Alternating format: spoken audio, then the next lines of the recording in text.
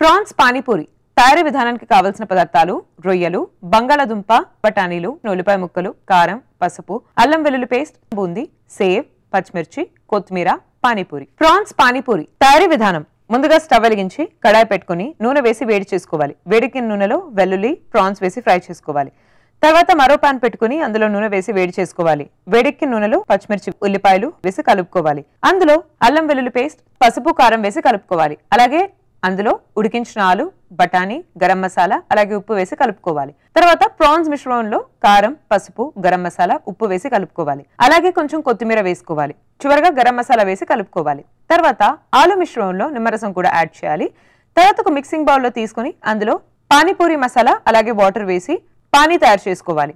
తర్వాత దాన్ని ఒక సర్వింగ్ ప్లేట్లో తీసుకోవాలి. అంతే ప్రాన్స్ పానీపూరి రెడీ.